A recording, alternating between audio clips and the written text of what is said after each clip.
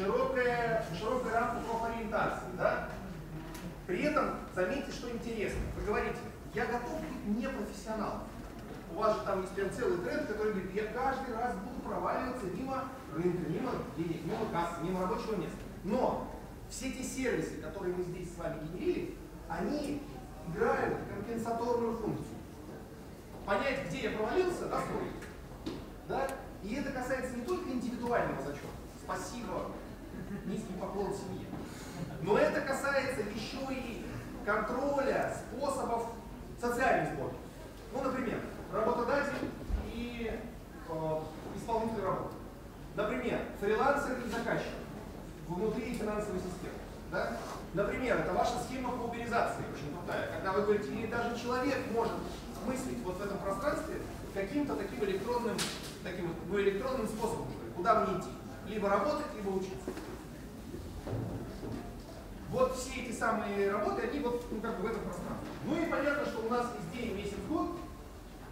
А, мы хотим разговаривать вокруг управления востребованностью человека в какой-то коллективной индивидуальной деятельности. То есть это управление востребованностью. Давайте так назовем. Предлагаем. Управление востребованностью.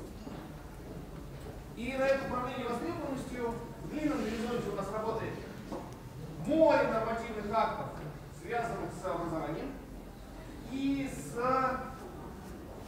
социальной, как бы, с желательными формами социальных институтов, типа дома, вот большого, большой семьи, которая нам Форматы, которые здесь работают, большая часть, это профсообщества, симпозиумы, э, конференции, которые Проблемную ситуацию с клиповым мышлением, профсообщество регулирования и так далее. Вот такие. Это в горизонте года. В горизонте месяца схемы безусловного дохода, схемы компенсирования, да, схемы работы с э, налоговыми базами, платформы управления финансовыми вычетами. Они находятся здесь. Пока мы мыслим логикой месячного цикла, вот этой самой зарплаты, но мне кажется, что оно будет, скорее всего, сдвигаться в эту сторону. Потому что если мы все-таки выйдем все в логику э, фриланса, в логику самостоятельной работы, удаленной, независимой от Дальше этот самый Uber сделает нам работу почасовую или по дню. И, скорее всего, оно будет двигаться сюда. Ну, а здесь у нас тонна технологий, начиная от Skype роботов, которые следят за заканчивая индивидуальной чипизацией с э, мониторингом, на которую фактически да, будет выложена какая-то модель предложений, максимально подходящих к уникальным сервисам. Вот такой у нас с вами управляемый, э, такая ситуация с управлением востребованностью индивидуального человека и его места. Вот какая-то такая. Чего не хватает? Добра, я вам сделал. Да. А, сказать, что каждый будет востребован в новом мире, потому что каждому будет предоставлена возможность самореализации именно в тех компетенциях, которые ему нравятся. Востребованность у каждого, да? Управляет, управление желаемой востребованностью. Да, да, да. Правильно?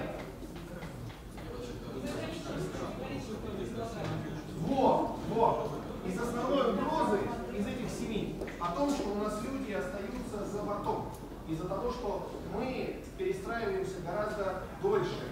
В смысле культурно перестраиваемся гораздо дольше, чем нам это могут позволить технологии, форматы и тем более нам.